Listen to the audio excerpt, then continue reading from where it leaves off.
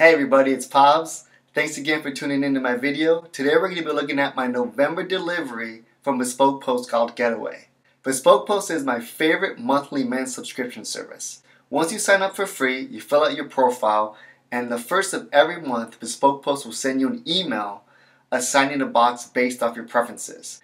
The one thing that separates Bespoke Post from the competitors is that they allow you a five day grace period to either opt into the assigned box, switch it up to another available box, or completely opt out. Another thing that I like about Bespoke Post is that you can purchase any available box during any time of the month through their store. Each box is priced at $45 and every single time you spend $45 or above, whether on a shipment or through their online store, you qualify for free shipping.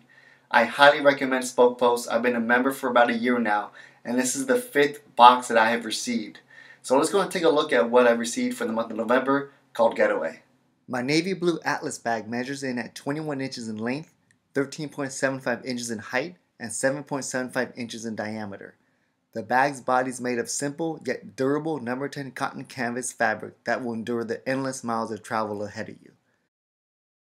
It's outfitted with two external pouches, one of which features a hidden passport pocket an inside zipper pocket, and most importantly, the capacity to fulfill any adventure.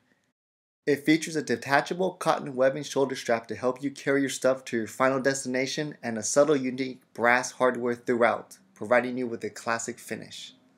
This low profile, carry on friendly weekender bag is made from Line of Trade, Bespoke Post in house brand. Thank you for tuning in. Give a thumbs up for fashionable travel bags and don't forget to hit the subscribe button below to check out future videos.